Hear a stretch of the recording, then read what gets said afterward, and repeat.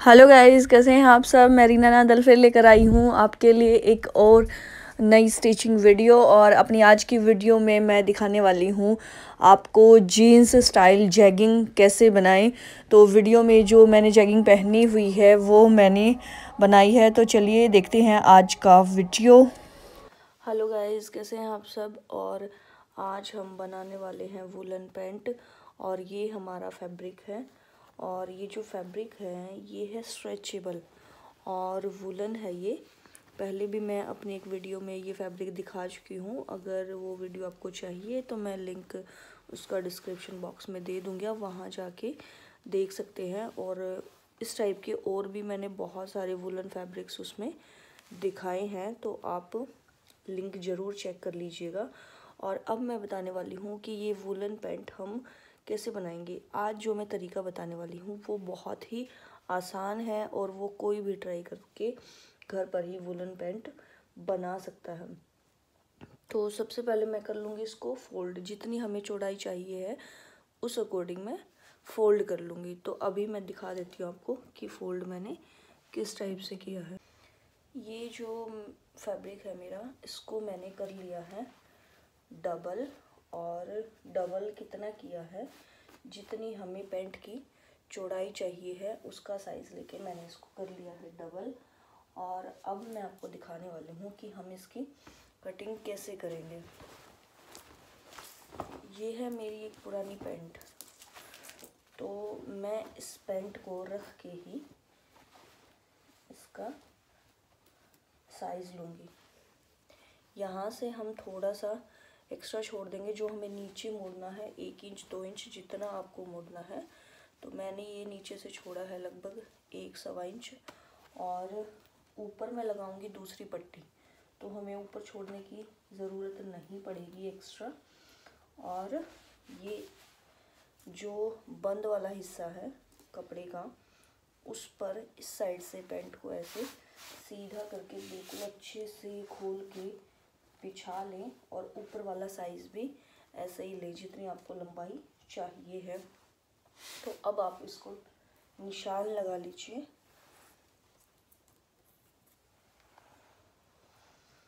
सिलाई के लिए थोड़ा दूर दूर से हम ऐसे निशान लगाएँगे इसका।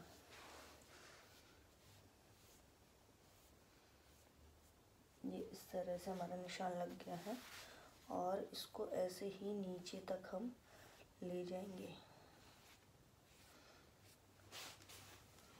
ये यहाँ पे भी हमारा निशान लग गया है। ये ऊपर। इस तरह से इसको सीधा करके और यहाँ पूरा पूरा निशान हम लगा लेंगे। देखिए, इस तरह से हमारा निशान जो है लग चुका है और अब हम ऊपर से थोड़ा सा इसको ऐसे शेप दे देंगे। बस, ये हमारा निशान लग चुका है और अब हम कर लेंगे इसकी कटिंग निशान आपको शायद दिख रहे होंगे सभी। इस तरह से हम अपनी पैंट को कट कर लेंगे। अब हम कर लेंगे इसकी कटिंग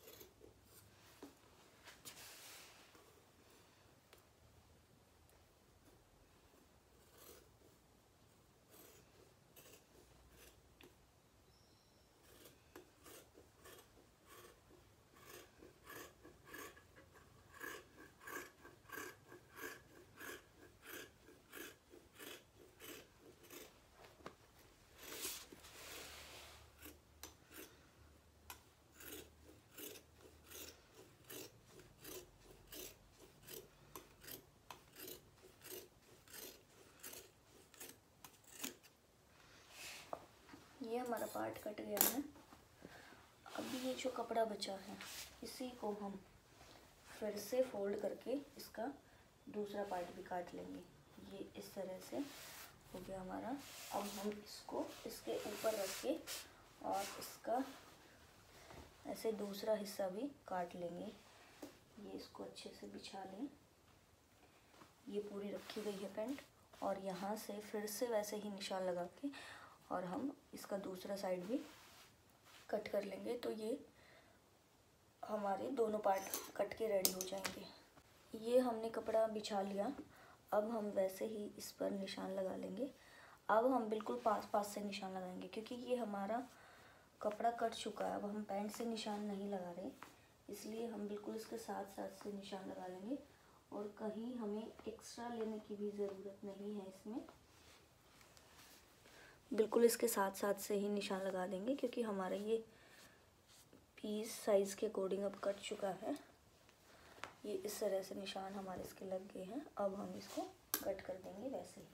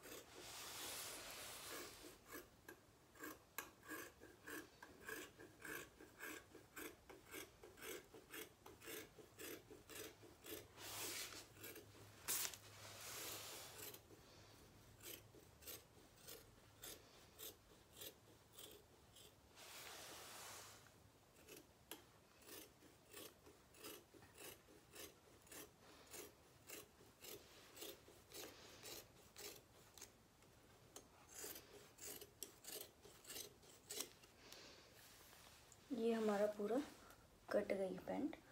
अब हमें करना क्या है?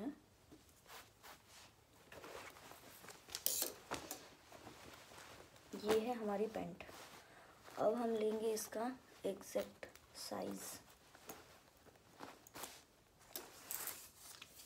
यहाँ से आसन जो है, इसका आगे वाला है साढ़े आठ इंच। ये देखिए, यहाँ से ऐसे नापेंगे हम। साढ़े आठ इंच। और ये ऊपर से है बारह इंच। तो बैक साइड का तो हमने बारह ही लिया है। आगे का हमें थोड़ा कट करना है। कट कैसे करेंगे? जैसे यहाँ पे ऐसे शेप आई हुई ना, वैसे ही। और उसके लिए हमें इसे ऐसे करना होगा। मीन्स ये ऐसे कटा हुआ है। सबसे पहले हम आसन जोड़ लेंगे। दोनों आसन को जोड़कर और अभी जो मैंने दिखाया है कि फ्रंट वाला आसन हमें थोड़ा छोटा करना है तो वो हम पहले दोनों को जोड़ लेंगे और नहीं तो आ, आ, हमारा गलत कट सकता है। तो जोड़ लेंगे तो वो एक जैसा कटेगा।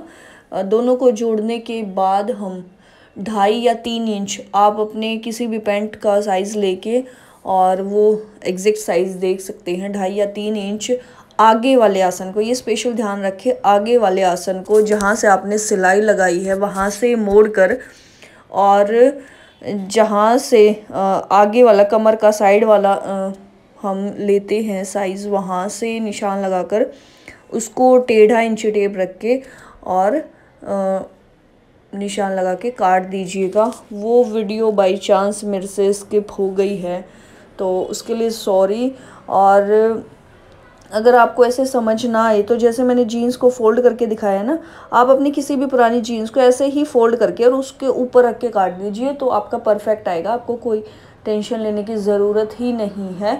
अदरवाइज़ आप निशान लगा के भी टेढ़ा काट सकते हैं। सिर्फ़ आगे वाले पोर्शन को टेढ़ा काटना है। ये ख़ास ध्यान रखना ना बैक वाले पोर्शन को टच नहीं करना है। वो हमारा एज इट इज़ रहेगा।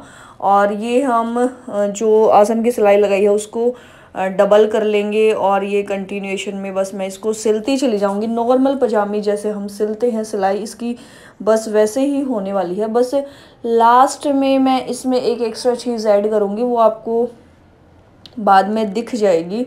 और जैसा कि वीडियो में दिख गया होगा आपको, जो मैंने पहनी हुई है जैगिंग, उसमें साइड में थोड़ा सा एक डिज़ाइन डला हुआ है, पट्टी सी लगी हुई है। तो मैंने तो ये ऐसे ही सिंपल छोड़ दी है, क्योंकि ये वुलन थी तो मैंने इसमें नहीं डिज़ाइन की ज़्यादा कोशिश की। लेकिन अगर आप चाहें तो उस पर साइड में बीड्स भी लगा सकते हैं पर्ल्स भी लगा सकते। हैं मार्केट में आपने देखा होगा कि इस टाइप की जेगिंग्स आई हुई हैं कि साइड में। उन पे पर्ल्स बीड्स स्टोन्स कुछ भी सीक्वेंस का कुछ भी काम कर सकते हैं आप तो वो आपकी जेगिंग बिल्कुल मार्केट स्टाइल बन जाएगी तो हमारी जेगिंग रेडी होती जा रही है। ये साइड की सिलाई मैंने लगा दी है और मैंने जो कटिंग की थी वो ऑलमोस्ट अपने साइज़ की अकॉर्डिंग ही की थी तो दोबारा मुझे बार बार निशान लगाने की इसमें ज़रूरत नहीं पड़ी तो मैं उसी अकॉर्डिंग इसको लगातार बस सिलते ही जा रही हूँ।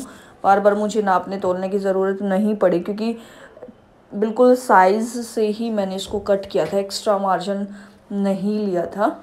तो बड़ों में एक्स्ट्रा मार्जिन की ज़रूरत नहीं होती बच्चों के में हम सोचते हैं कि कहीं से टाइट लूज़ हो जाए तो हमें ठीक करना पड़ता है। तो बड़ों के में ज़्यादा से ज़्यादा आप एक इंच मार्जिन रख लीजिए और वो आपको साइज़ एकदम ठीक आएगा।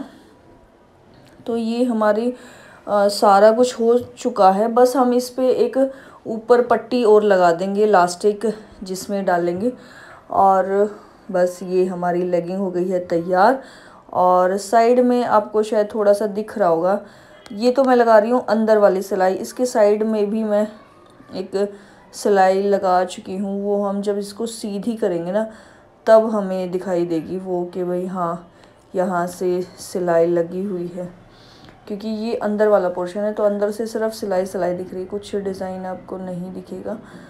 तो बस अब इसकी लगी एक पट्टी और ये हमारी चेकिंग हो जाएगी रेडी अब देखिए, ये साइड का हो चुका है पूरा हमारा। अब मैं लगाऊँगी इसमें वो सिलाई।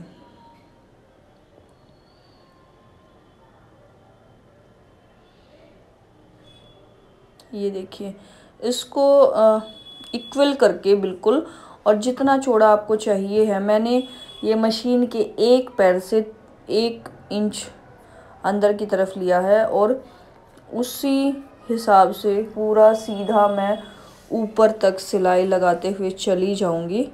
और इसी तरह से दूसरे पैर में भी हम लगा लेंगे।